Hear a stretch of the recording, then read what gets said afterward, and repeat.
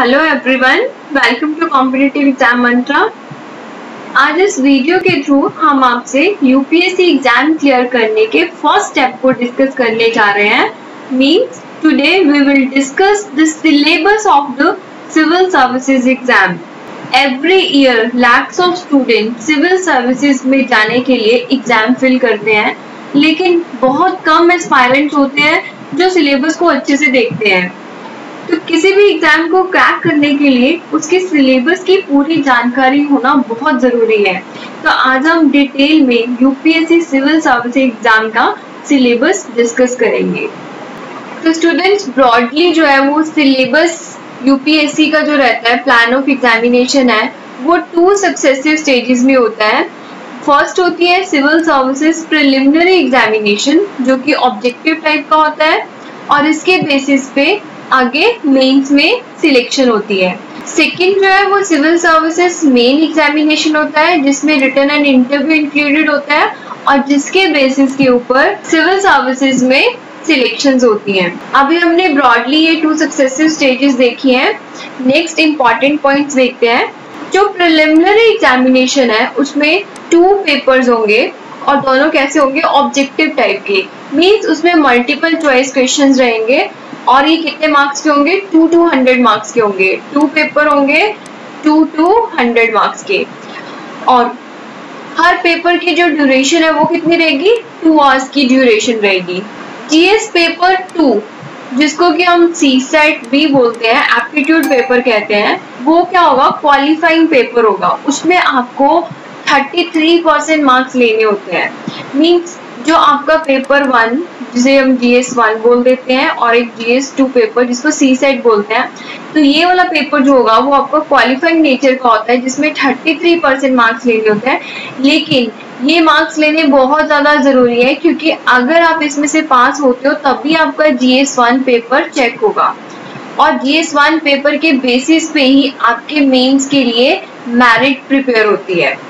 तो आप इस जी सी सेट पेपर को भी लाइटली मत लीजिए बिकॉज़ बहुत सारे बच्चे इसमें से भी फेल हो जाते हैं। और यूपीएससी का जो स्टैंडर्ड है सी सेट के लिए, वो इंक्रीज होता जा रहा है। बहुत अच्छा पेपर डालते हैं। तो आपको इसको अच्छे से करना चाहिए। बिकॉज़ ये बेस है आपका जीएस वन पेपर चेक होने के लिए। चलिए आगे इंपॉर्टेंट चीज़ें देखते हैं। दोनों जो पेपर होंगे, वो हिंदी और इंग्लिश दोनों में सेट होते हैं।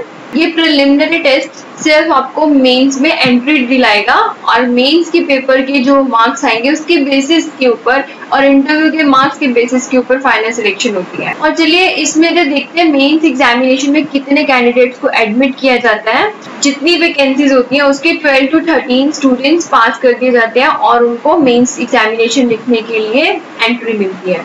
और जो स्टूडेंट्स पास होंगे प्रिलिमिनरी एग्जामिनेशन में, वही एलिजिबल होंगे मेंस एग्जामिनेशन के लिए। और इंपॉर्टेंट पॉइंट है कि इस एग्ज़ाम में नेगेटिव मार्किंग रहती है और कितनी होती है? वन थर्ड होती है। जितना भी एक क्वेश्चन को मार्क्स दिए गए अगर टू मार्क्स का क्वेश्चन है तो उसका वन थर्ड जो होगा, वो उसकी क्या होगी? क्वेश्चन के लिए पेनल्टी रखी गई है।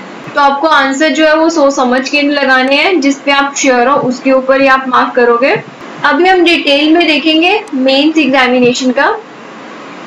फर्स्टली पहले हम देखेंगे कि कितने पेपर्स होते हैं कितने मार्क्स के होते हैं और तब उसके बाद हम देखेंगे इसका डिटेल सिलेबस पहले तो हम देखते बात करते हैं क्वालिफाइंग पेपर्स की. टोटल अगर हम पेपर देखें टोटल जो मेंस में पेपर देते हैं वो होते हैं नाइन लेकिन इसमें से जो सेवन पेपर है, उसके बेसिस पे मेरिट बनती है और जो दो पेपर होते हैं, वो होते हैं क्वालिफाइंग नेचर के. बट अगेन अगर इन पेपर में कोई भी फेल होता है तो उसके जो बाकी के पेपर्स हैं जीएस के और ऑप्शनल वो चेक ही नहीं होंगे और आपकी कोई मेरिट लिस्ट में नाम नहीं आ सकता है। तो इस पेपर को क्वालिफाई करना बहुत ज़रूरी है। First is the paper A paper A जो होता है इंडियन लैंग्वेज के ऊपर होता है और इंडियन लैंग्वेज आप कोई भी ले सकते हो जो कि एट शेड्यूल में मैंशनड है। उनमें से आप कोई भी लैंग्वेज को चूज़ कर सकते हो और ये कितने मार्क्स का रहेगी? 300 मार्क्स की रहेगी। सेकेंड पेपर जो है, वो पेपर बी जो है, वो है इंग्लिश इंग्लिश में कितने मार्क्स का है? 300 मार्क्स का है। अगेन ये क्या है? क्वालिफाइंग पेपर्स है। ये दोनों पेपर्स जो है, वो क्वालिफाइंग नेचर के हैं। अब हम उन पेपर्स को डिस्कस करेंगे जिसके बेसिस पे मेरिट बनती है। फ़र्स्ट है हमारा पेपर वन कौन सा पेपर है? ऐसे पेपर है। ऐसे पेपर कितने मार्क्स का है? 250 मार्क्स का इसमें आपको दो ऐसे लिखने होते हैं।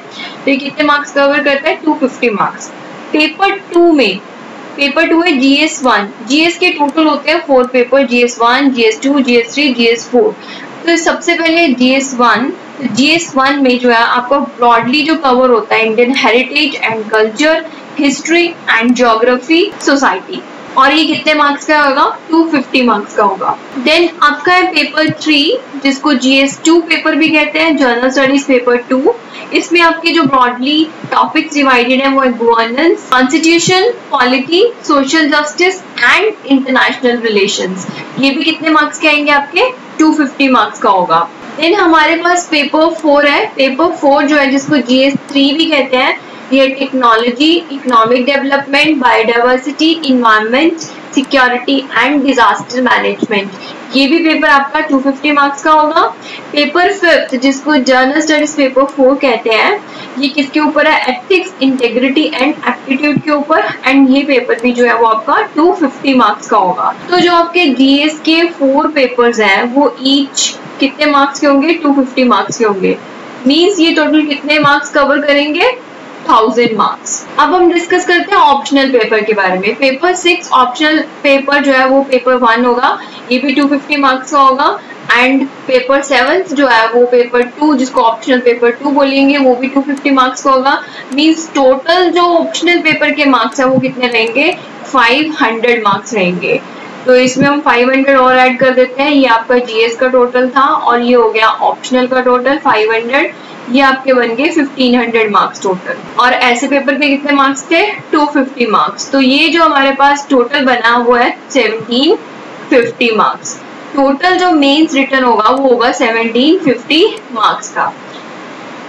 अब पर्सनालिटी टेस्ट मीन्स आपको जो इंटरव्यू टेस्ट है, वो होगा 275 मार्क्स का 275 मार्क्स तो ये जो आपके टोटल बन जाएँगे 2025 2025 मार्क्स मीन्स जो लास्ट में जो मेरिट लिस्ट बन के आएगी, वो टोटल मार्क्स 2025 में से होगी. अभी हम डिटेल में preliminary examination and mains examination का सिलेबस डिस्कस करेंगे. तो सिलेबस जो है एग्जामिनेशन का प्रिलिमिनरी का, उसमें जो पेपर वन है, आपको भी बताया गया था कि 200 मार्क्स का होगा और ड्यूरेशन कितने की रहेगी? टू आवर्स की रहेगी। तो सबसे पहले जो यूपीएससी द्वारा मेंशन किया गया है, वो है current events of national and international importance तो आपको करंट अफेयर जो है, वो बहुत अच्छे से तैयार करना है। देन सेकेंड टॉपिक जो है, वो है history of India international movement next topic है इंडियन एंड वर्ल्ड जोग्राफी जिसमें फ़िज़िकल सोशल इकोनॉमिक जोग्राफी और इंडिया एंड वर्ल्ड दोनों इंक्लूडेड होंगी। तो आपने इंडिया और वर्ल्ड दोनों का ही पढ़ना है। Then Indian polity and governance इसमें हम constitution political system Panchayati Raj public policy rights issue etcetera सारी की सारी पॉलिटी के जितने भी टॉपिक्स है वो कवर करेंगे। Then economic and social development sustainable development, poverty, inclusion, demographics, social sector initiatives, etc. Then उसके बाद जो इश्यूज़ हैं इन्वायरमेंट के रिलेशन में environmental ecology biodiversity climate change और यहाँ पे मेंशन किया गया है that don't require subject specialisation ये इसके लिए कुछ कोई इंपॉर्टेंट जो है वो ये है कि हमें इसके जो टॉपिक्स है, जो करंट अफेयर में रहते हैं, जो बेसिक्स है, वो हमें तैयार करना है, ना कि प्रॉपर हमें इसके सब्जेक्ट की स्पेशलाइजेशन चाहिए। आप इसके लिए प्रीवियस ईयर के क्वेश्चंस रेफर कर सकते हैं, जिससे कि हमें आइडिया जाता है कि क्वेश्चंस किस तरह के पूछे गए हैं। आने वाली हम नेक्स्ट वीडियोस में हम डिस्कस करेंगे डिफरेंट जो प्रीवियस ईयर के क्वेश्चंस पूछे गए हैं, वो हम उसके ऊपर अलग से वीडियो बनाएँगे तो हम वहाँ से भी आप देख सकते हैं। देन हमारे पास है जर्नल साइंस तो ये जो ब्रॉडली प्रिलिमिनरी एग्जामिनेशन में जीएस पेपर वन में जो टॉपिक्स कवर किए गए, वो हमने अभी डिस्कस किए हैं। सेकेंड पेपर जो है आपका, वो रहेगा सी सेट का पेपर जिसकी ड्यूरेशन इसकी भी टू आवर्स की होगी। और इसमें जो ब्रॉडली टॉपिक्स दिए गए हैं, वो है comprehension interpersonal skills including communication skills logical reasoning and analytical ability decision making and problem solving general mental ability basic numeracy numbers and their relations, orders of magnitude और ये दिया हुआ है क्लास टेंथ लेवल का। Then data interpretation chart graph tables data sufficiency etcetera class tenth level तो ये actual में class tenth level का दिया गया लेकिन इसकी जो हार्डनेस है, वो इंक्रीज होती जा रही है तो आपको प्रीवियस ईयर के क्वेश्चन जो है, वो ज़रूर एक बार अटेम्प्ट करके देखने चाहिए कि आपके कितने मार्क्स आ रहे हैं बिकॉज़ क्वालिफाइंग तो है ये पेपर लेकिन अगर आप इस पेपर को क्वालिफाई करते हो, तभी आपका पेपर वन चेक होगा और जिसके बेसिस पे आपको मेन्स में एंट्री मिलेगी। तो आपको इस पेपर को भी लाइटली नहीं लेना है। सारे टॉपिक्स को अच्छे से तैयार करना है और प्रीवियस ईयर के क्वेश्चंस लगा के देख सकते हैं आप। अभी हम डिस्कस करेंगे मेंस एग्जामिनेशन का सिलेबस टोटल आपको पता है कि नाइन पेपर्स होते हैं, उसमें से दो पेपर तो क्वालिफाइंग है। वन आपका इंडियन लैंग्वेज के ऊपर है और वन आपका कौन सा है? इंग्लिश का पेपर है। जो इंग्लिश का पेपर रहेगा, उसमें आपको ब्रॉडली जो टॉपिक्स होंगे, वो होंगे कॉम्प्रीहेंशन आएगी, इसके पैसेजेस दिए होंगे कॉम्प्रीहेंशन करना होगा प्रेसी करनी होगी। यूजेज एंड वोकेबलरी के ऊपर क्वेश्चन होंगे और शॉर्ट एसेज आएँगे। ये आपका पेपर कितने मार्क्स का रहेगा? 300 मार्क्स का रहेगा। देन आपका है Indian languages paper Indian language में आपको कॉम्प्रीहेंशन दी होगी precis usage and vocabulary short ऐसे और इसमें आपको ट्रांसलेशन करनी होगी English to Indian language and vice versa तो ये ब्रॉडली टॉपिक्स यूपीएससी द्वारा मेंशन किए गए हैं, जो आपको क्वालिफाइंग पेपर में आते हैं। तो इसके लिए भी आपको ज़रूर रेफर करने हैं प्रीवियस ईयर के क्वेश्चंस जो आपको पेपर में आए हुए हैं, वो एक बार आप ज़रूर देखेंगे किस तरह के क्वेश्चन आते हैं और आप उनमें से कितना अटेम्प्ट कर सकते हैं। बिकॉज़ क्वालिफाइंग है, लेकिन इसके बेसिस पे ही आपके बाकी सारे पेपर चेक होंगे। काइंडली इसको लाइटली मत लीजिए बिकॉज़ बहुत सारे स्टूडेंट्स ऐसे होते हैं जो इन पेपर्स में भी रह जाते हैं और जिसकी वजह से उनका जो बाकी की हार्ड वर्क होता है, वो भी सारा वेस्ट हो जाता है। तो इसलिए इस, इन पेपर्स को भी आप अच्छे से तैयार कीजिए। जीएस पेपर वन जिसमें कि Indian heritage and culture history and geography of the world and society cover होंगे। इंडियन कल्चर में जो टॉपिक्स होंगे वो art forms literature and architecture कहाँ से कहाँ तक आपको एंशियंट से मॉडर्न टाइम्स तक कवर करनी है। सेकेंड जो है वो है modern Indian history modern Indian history जो है वो about middle of the eighteen century 1750 से लेकर अंटिल द प्रेजेंट तक आपने करनी है। उसमें आप significant events personalities and issues सब कुछ कवर करोगे। एक्चुअल में आपको कॉन्टिन्यूटी में ही पढ़ना होता है। आपको एंशियंट से लेके ancient medieval and then modern history and then post independence अभी तक जो हो रहा है वो सब कुछ ही इसमें कवर हो जाता है। तो आपने सारा कुछ ही अच्छे से पढ़ना है सो डेट कि आपके जो है कहीं से भी आपको क्वेश्चन है और आप अटेंड कर पाए। और जो इसमें बेसिक जो वर्ड्स दिए गए हैं, वो आप इसको अच्छे से देखिए कि क्या हमें सिलेबस में क्या दिया गया है। Modern Indian history middle of the eighteen century and present तक दी गई है, जिसमें कि आप आप कोशिश करोगे कि उसमें कौन से इवेंट्स हुए हैं पर्सनालिटीज के ऊपर या इश्यूज़ जो है, वो उसको डिस्कस करोगे। फिर उसके बाद आपके पास फ्रीडम स्ट्रगल फ्रीडम स्ट्रगल में आप इसकी जो फ्रीडम स्ट्रगल की वेरियस स्टेजेस हैं, उसको डिस्कस करोगे. इंपॉर्टेंट कॉन्ट्रीब्यूटर्स कॉन्ट्रीब्यूशन किस किस ने किया different parts of country means पूरे कंट्री में फ्रीडम स्ट्रगल कैसे चल रहा था कौन कौन सी पर्सनैलिटीज थी जिन्होंने पार्टिसिपेट किया कॉन्ट्रीब्यूट किया, उन सब के बारे में आपको पता होना चाहिए. देन टॉपिक है हमारे पास हिस्ट्री में post independence consolidation and reorganisation within the country independence मिलने के बाद किस तरह से कंट्री को कंसोलिडेट किया गया और रीऑर्गेनाइज किया गया, उसके ऊपर क्वेश्चन होंगे। अब हमारे पास हिस्ट्री ऑफ़ द वर्ल्ड तो देखते हैं इसमें कौन से इंपॉर्टेंट टॉपिक्स दिए गए हैं। देखिए इसमें दिया गया include events from eighteen century means आपको industrial revolution world wars redrawal of national boundaries colonisation decolonisation political philosophies जैसे कि कम्युनिज्म कैपिटलिज्म सोशलिज्म एटसेट्रा इन सबको डिस्कस करना है और उनकी कौन कौन सी फॉर्म्स और उनके सोसाइटी के ऊपर क्या इम्पैक्ट पड़े थे। तो यूपीएस ने ब्रॉडली टॉपिक्स बता दिए आपने इसी लेन में ही आपको इस, इस तरह से ही पढ़ना है। इसी टॉपिक्स के ऊपर आपको अच्छे से अपनी रिविजन करनी है और प्रीवियस ऐसी क्वेश्चन को ज़रूर देखना है। ये आपके हिस्ट्री के टॉपिक्स कवर हो गए। अब हम आते हैं इंडियन सोसाइटी के ऊपर। तो इंडियन सोसाइटी के कौन से फीचर्स हैं? डाइवर्सिटी इंडिया में कितनी है? देन वुमेन के रोल के ऊपर, इसमें से क्वेश्चन आते ही आता है वुमेन ऑर्गेनाइजेशन जो बनी है पॉपुलेशन के ऊपर टॉपिक है, और इसके साथ कौन कौन से इश्यूज़ हैं? पॉवर्टी को लेके कौन से डेवलपमेंटल इश्यूज़ हैं? अर्बेनाइजेशन बहुत इंपॉर्टेंट टॉपिक है। इसके ऊपर ऐसे भी आते ही रहते हैं। तो अर्बेनाइजेशन और उनकी क्या प्रॉब्लम्स हैं और क्या रेमेडीज हो सकती हैं? ये सारे टॉपिक्स आपको तैयार करना है। इफ़ेक्ट ऑफ़ ग्लोबलाइजेशन क्या हो रहा है? इंडियन सोसाइटी के ऊपर वेरी इंपॉर्टेंट टॉपिक इसमें से भी क्वेश्चन रहता है। देन हमारे जो यहाँ पे सोशल एम्पावरमेंट जो हो रही है कम्युनलिज्म को लेकर रीजनलिज्म को लेकर सेकुलरिज्म को लेकर जितनी भी सारी चीज़ें ये सारी डिस्कस होंगी। देन ये हो गया आपके सारे सोसाइटी के रिलेशन में जो पार्ट्स हैं। तो इसको प्रिपेयर करना बहुत इजी रहता है डेली न्यूज़पेपर और ये हमारा ऐसे में भी बहुत हेल्पफुल होता है। तो ये टॉपिक्स आप इजीली तैयार कर सकते हो। देन हमारे पास है जोग्राफी के रिलेशन में। जोग्राफी के रिलेशन में हमने वर्ल्ड फ़िज़िकल जोग्राफी सारी कवर करनी है। उसके पूरे फीचर्स जितने भी है टॉपिक्स उसमें इंक्लूड होते हैं, वो सारे करने हैं। देन हमें करना है डिस्ट्रीब्यूशन ऑफ़ की natural resources across the world जिसमें कि आपका south Asia Indian subcontinent included है। देन आपके पास है क्या फैक्टर्स हैं जो कि रिस्पॉन्सिबल है for the location of primary secondary and tertiary sector industry के लिए in various parts of the world including India India के लिए भी आपने करना है कि कौन कौन से फैक्टर रिस्पॉन्सिबल है location primary secondary tertiary sector industry के लिए? देन बहुत ही इंपॉर्टेंट टॉपिक है। इसमें से क्वेश्चन ज़रूर रहते हैं। Earthquake tsunami volcanic activity and cyclone etcetera geographical features and their location changes in critical geographical features जैसे कि वाटर बॉडीज को लेके आइस कैप को लेके, किस तरह से चेंज आ रहा है, आपको पता है क्लाइमेट चेंज की वजह से कितने सारे चेंजेस आए हैं। तो उसके ऊपर questions and flora and fauna and the effects of such changes तो जो आप जियोग्राफिकल फीचर्स कर रहे होंगे या फिर जो फ़िज़िकल फिनोमिना कर रहे हैं तो उनके रिलेशन में जितने भी उसके इफेक्ट्स बनते हैं, वो भी आपने ज़रूर करना है। नेक्स्ट जो है जीएस पेपर टू जिसमें आपका ब्रॉडली कवर होता है governance constitution polity social justice and international relation तो इसमें सबसे पहले हमारे पास है इंडियन कॉन्स्टिट्यूशन इंडियन कॉन्स्टिट्यूशन हमें बहुत अच्छे से पढ़ना है इंडियन कॉन्स्टिट्यूशन को.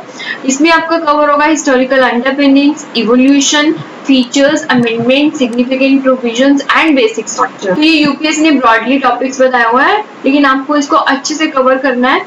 Then functions and responsibilities of union and state की क्या रिस्पॉन्सिबिलिटीज हैं और फेडरल स्ट्रक्चर की वजह से क्या इश्यूज़ एंड चैलेंजेस हैं डिवोल्यूशन ऑफ़ पावर को करना है and finances up to local level तक लेके जाना है आपने एंड चैलेंजेस दे रहे क्या चैलेंजेस हैं डिवोल्यूशन ऑफ़ पावर में सेपरेशन ऑफ़ पावर इंडिया में है तो between various organs dispute redressal mechanism करना ऑन इंस्टीट्यूशंस करना है इसके रिलेशन में कंपैरिजन करना इंडियन कॉन्स्टिट्यूशनल स्कीम का to the other countries then parliament and state legislature को फुल पढ़ना है, जिसमें कि उन्होंने बात की है structure functioning conduct of business powers and privileges and issues arising out of these. Powers and privileges जो पार्लियामेंट एंड स्टेट लेजिस्लेचर के पास है, उसके अकॉर्डिंग कौन कौन से इश्यूज़ अराइज हो रहे हैं, वो सारी की डिस्कशन होगी then structure organisation and functioning of executive and judiciary executive and judiciary को पूरा कवर करना है मिनिस्ट्रीज होगी डिपार्टमेंट्स ऑफ़ द गवर्नमेंट इसके अलावा प्रेशर ग्रुप्स कवर करना है फॉर्मल एंड इनफॉर्मल एसोसिएशन जो बनती है और उनका क्या रोल होता है पॉलिटी में, उसको डिस्कस करना है. Then representation of people act के आपने सेलियंट फीचर्स करने हैं. इसके अलावा अपॉइंटमेंट वेरियस कॉन्स्टिट्यूशनल पोस्ट पे जो होती हैं powers functions and responsibility of various constitutional bodies. Next topic is statutory, regulatory and various quasi-judicial bodies, government policies and interventions of development in various sectors and issues arising out of their design and implementation. The next topic is development processes and development industry. किसका role NGO and self help group का various groups and association donors charities institutional and other stakeholders इन सबकी discussion होगी. Then welfare schemes for vulnerable sections of the population by the center and states. जितनी भी schemes बनाई जाती हैं vulnerable section के लिए, वो सारी वेलफेयर स्कीम्स और उनकी परफॉर्मेंस ऑफ़ दी स्कीम्स को भी डिस्कस करना है. उनके मैकेनिज्म्स लॉज कौन से हैं इंस्टीट्यूशन बॉडीज जो कॉन्स्टिट्यूट की गई है for the protection and betterment of these vulnerable section means अपने वनरेबल सेक्शन के रिलेशन में जितने भी वेलफेयर स्कीम्स बनाई गई हैं और उनकी किस तरह से इम्प्लीमेंटेशन हो रही है और क्या अच्छा किया जा सकता है, वो सबको आपको अच्छे से तैयार करना है। नेक्स्ट सिलेबस में है issues relating to development and management of social sector services relating to health के साथ एजुकेशन ह्यूमन रिसोर्सेज के रिलेशन में जो सर्विसेज़ दी जाती है और उसके साथ जो इश्यूज़ अराइज हो रहे हैं, वो सब डिस्कस करना है। Then issues relating to poverty and hunger important aspects of governance, transparency and accountability, e-governance applications, models, successes and limitations देखिए सिलेबस में सारे जितने भी टॉपिक्स दिए हुए उनको अच्छे से एनालाइज कीजिए।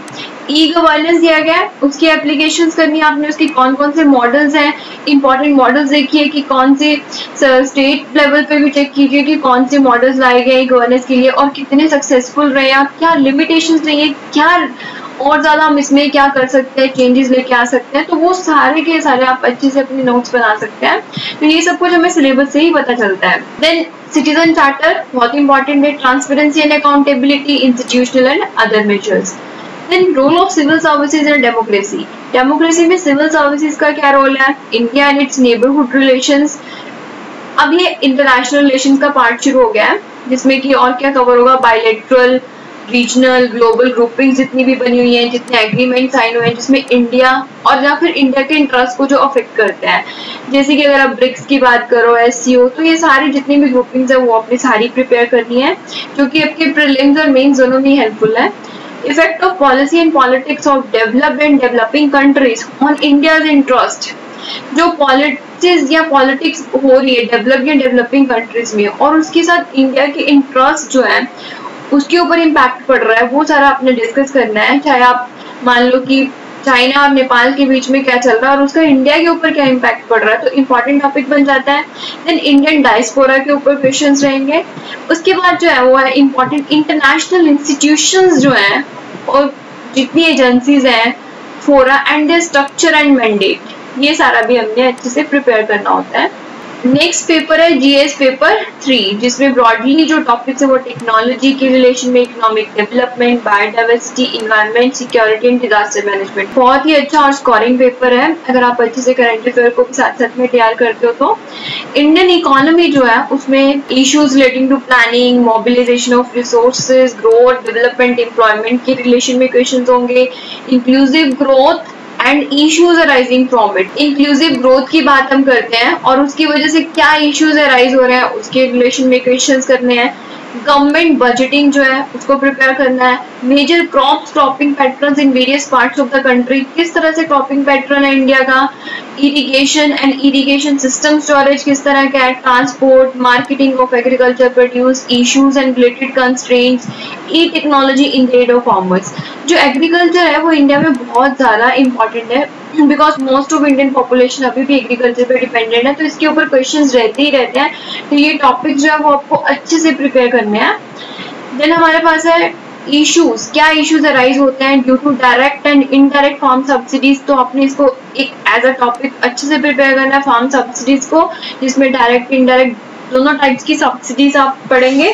देन मिनिमम सपोर्ट प्राइस जिसको एमएसपी बोलते हैं ये आपने ज़रूर सुना होगा एमएसपी के बारे में। Then PDS public distribution system इसके क्या ऑब्जेक्टिव्स हैं, क्या फंक्शनिंग है, क्या लिमिटेशंस है revamping then issues of buffer stock and food security then technology mission कौन कौन से हैं economics of animal rearing then next topic है food processing and related industries in India food processing बहुत इंपॉर्टेंट टॉपिक है। Food processing के relation में कौन कौन सी इंडस्ट्री इंडिया में है, उसका क्या स्कोप है, क्या सिग्निफिकेंस है location upstream and downstream requirements कौन सी है? प्लीज़ फ़ूड प्रोसेसिंग के लिए क्या इनपुट होनी चाहिए क्या आउटपुट होगी? सप्लाई चेन पूरा मैनेजमेंट जो वो किस तरह से है? Then land reforms in India land reform जो इंडिया में very important topic land reforms कि क्या क्या इश्यूज़ हैं अभी भी, सब आपने इसमें से इसको प्रिपेयर करना है. Then effects of liberalisation on the economy basically जो 1991 से स्टार्ट हुई थी liberalisation LPG liberalisation privatisation globalisation तो ये आपने अच्छे से प्रिपेयर करने टॉपिक्स चेंज क्या है इंडस्ट्रियल पॉलिसी में और उसके इंडस्ट्रियल ग्रोथ के ऊपर क्या इम्पैक्ट हुए।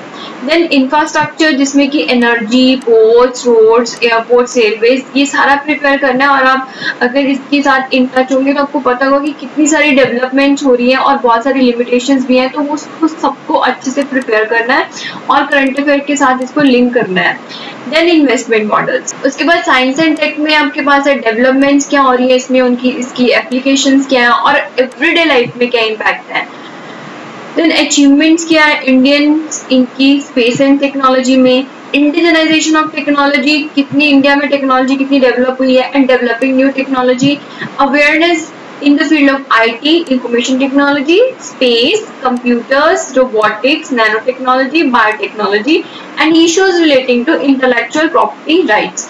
तो ये बहुत ही अच्छे वे में टॉपिक्स को यूपीएससी ने सेग्रीगेट किया है तो आपको इसको अलग अलग टॉपिक वाइज प्रिपेयर करके रखना है देन उसके बाद है conservation environmental pollution and degradation environmental impact assessment तो इन्वायरमेंट को लेके भी क्वेश्चन होते ही होते हैं तो इसको भी आप अच्छे से प्रिपेयर करेंगे. Then disaster and disaster management linkages between development and spread of extremism role of external state and non-state actors in creating challenges to internal security. Internal security को भी अच्छे से तैयार कीजिए.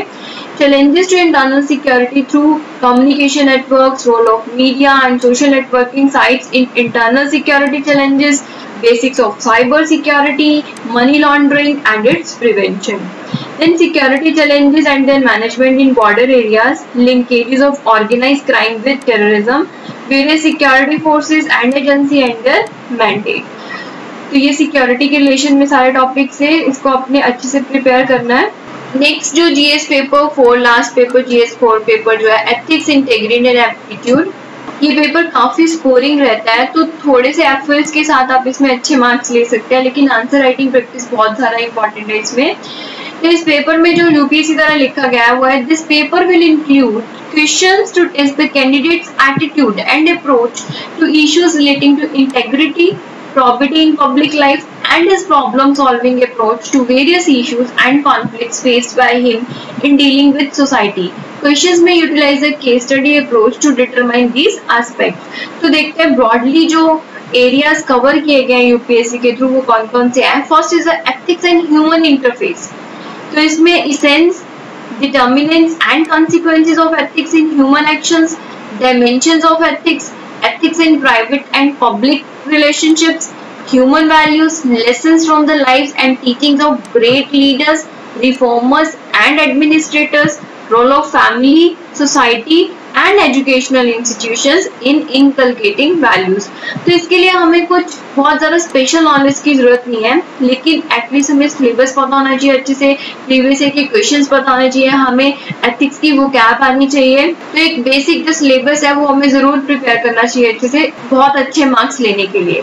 देन इसमें हमारे पास है एटीट्यूड एटीट्यूड में आपके पास content structure function its influence and relation with thought and behaviour moral and political attitude, social influence and persuasion. Then aptitude and foundational values civil services के लिए integrity, impartiality, non-partisanship, objectivity, dedication to public services, empathy, tolerance, compassion towards the weaker section. ये सारे इतने important keywords हैं कि आप इनको अपने क्वेश्चंस में आंसर में यूज़ कर सकते हैं।